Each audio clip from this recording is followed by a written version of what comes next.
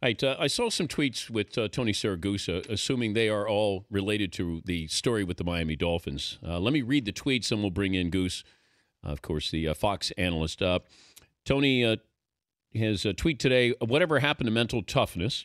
I teach my kids never run from a problem, face it head on. I hope there's more people like there out there like me.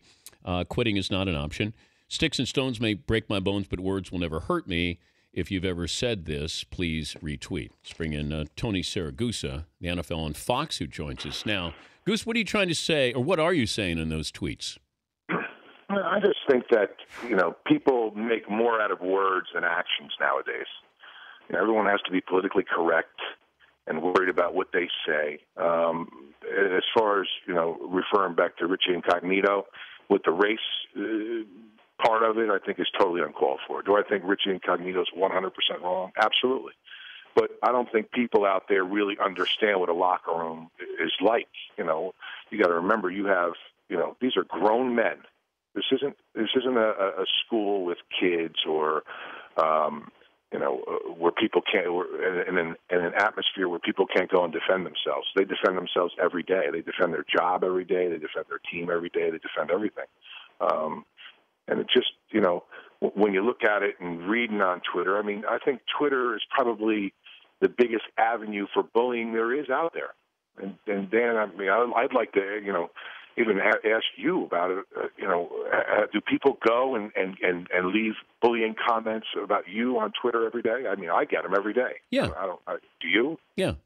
You know, you you get the guys that go and they bully you and everything like that, and and, and you know, I mean, we're in the business where we're out there a little bit, and and, and I think you know, just ignoring the situation sometimes it sort of goes away. But, but when, Goose, when it's in your face in the locker room, yeah, but they're I nameless it's- and it's some- faceless. They're th- those are people I don't work next to. They're not teammates. I'm not Right. next to them. If if my guys, the Danettes, did that, then then it would be different. These are people that I don't know, and if they want to take a shot, they take a shot, and then you know I move on Right. with it. right? This is a Uh, teammate but I- who's I doing think- this. Right. The, the, the strange thing, you know, listen, you know, they talk about teams being a family, and when you're in the locker room, that's like your home. When you're when you're a player, and, whatever level it might be, that's your home, and it's uh, you know, things are handled in there and said in there that shouldn't be brought out to the to the media, just and, and plainly because, you know, the media and really the real world, you know, can't handle a lot of those things and a lot of things that happen in that locker room. And I think, you know, I, I know guys that I've gotten in fist fights with in the locker room. It's never gotten out into the media. And then the next day I'm hugging them and saying, come on, let's go. Let's go play. It's just, uh, that's the atmosphere th- that it is.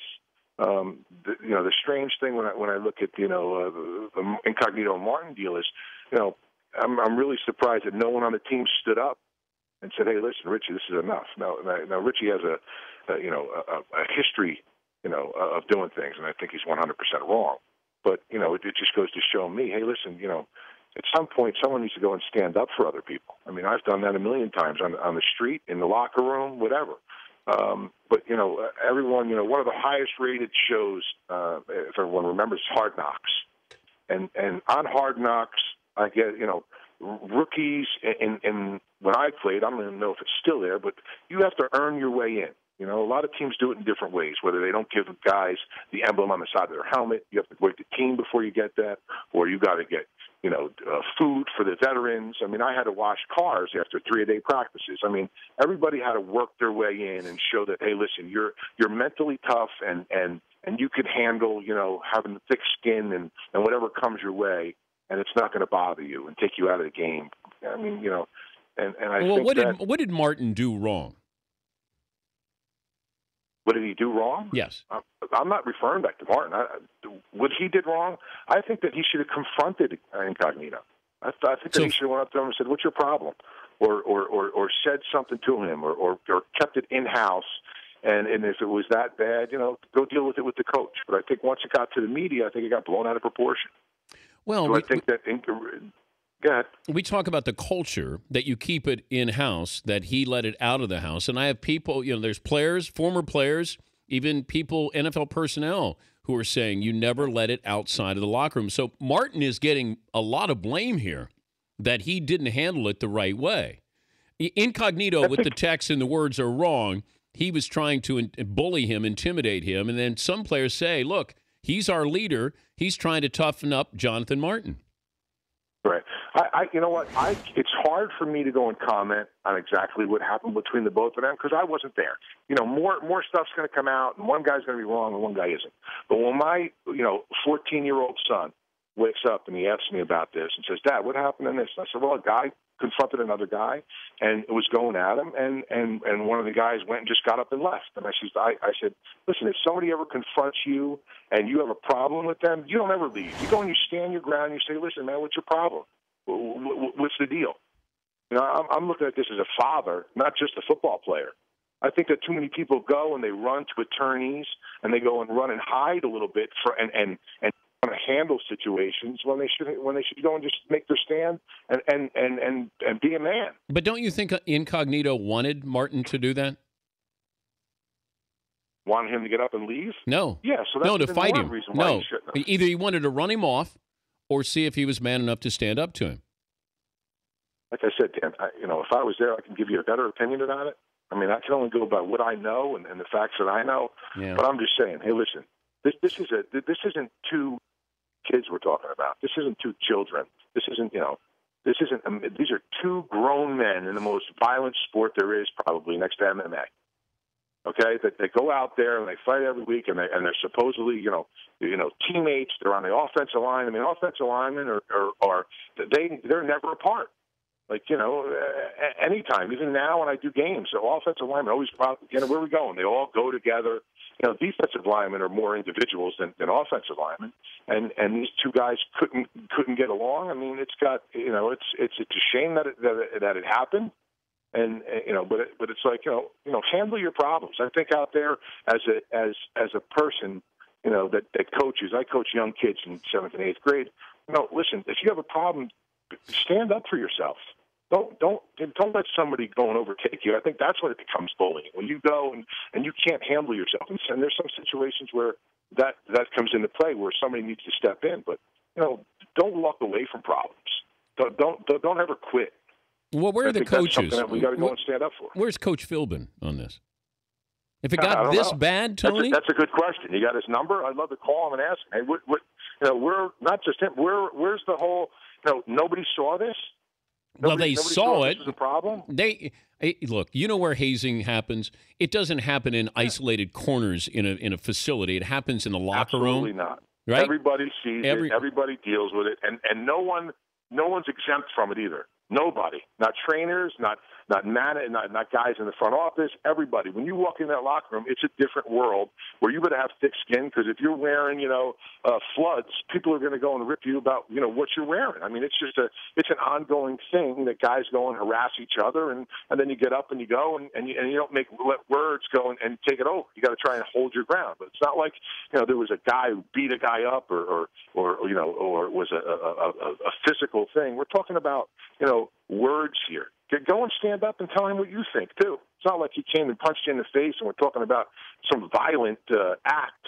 We're talking about words. You know what I'm saying? That we have to deal with every day. Yeah, but he threatened him. He said, "I'll kill you, Goose." I mean, this this, this went above and beyond. Hey, I'm going to give you grief. I'm going to poke fun. I'm going to call you soft. I'm going to try to toughen you up. The stuff that this guy said to Martin, he should be arrested for.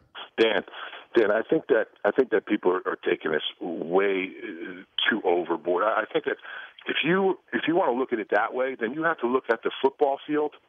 Uh, how many simple assaults and aggravated assaults are committed inside the field that, that that every attorney in the world should go and say, "Hey, listen, you know, this guy hit you, uh, he clipped you in the back. Let's sue him." Yeah, but that, that, but that's part of the game. But Goose, this is off the field with teammates. This is in a working environment it's not the right. football field where we know it's violent. I don't expect off the field in a locker room to be have some guy say what he's going to do to me, defecate on me, calling me, you know, racist right. slurs, and he's going to threaten to kill me. That has nothing to do with listen, being uh, on the field. What I said, listen, Richie, let me say it one more time. Rich Incognito is 100% wrong. Okay? Am I saying that do, do, if a guy goes and says that to you, do, do you go and, and run? Stand your ground a little bit. I understand you're defending the, the normal locker room. I this is abnormal. I get I get it. Goose. That's exactly what I'm defending. No, I get it. I get it. Okay. Am I am I saying, hey, Martin is is listen, just be a man. You know, I'm, I'm just I'm just tired of people going and running from their problems. Does Martin? Don't face them. Does Incognito play again? I don't know. That's a that's a decision for the commissioner. I mean, you know, hey, listen, he, he's got to go. And, and the problem with Incognito is it's been it's his track record. Okay, it's been over and over. This isn't the first time this has happened. Okay, yeah. but you know, is is this an ongoing? Does he need you know some kind of uh, uh, doctor to talk to? Maybe you know. Probably. Well, he's got talent. That's uh, why he might get another chance. Yeah. That's usually yeah, what listen, happens. Hey, listen, Dan, me and you have seen it time and time again. Okay, a little bit of time, and all the fleas get get get get off your back, and all of a sudden you're back at you're back in you know back in the game. That's right. just that's just what happens because you know you know teams teams want to win and, and jobs depend on it and and mortgages depend on it and money depends on it and that's what it's uh, that's how that's what runs the world. But, uh, but I think that uh, you know if, if if if kids or your kid is looking at this and you have to go and talk to them about it, I think you don't tell them to go and run. Tell him to stand there and stand up for himself. I appreciate you joining us on short notice. No problem, man. I appreciate that. Anytime, buddy. All right, buddy. That's uh, Tony Siragusa. I think he's got uh, Bears Lions coming up this weekend with uh, Kenny Albert and uh, Moose Johnston. The Dan Patrick Show, weekday mornings on Audience.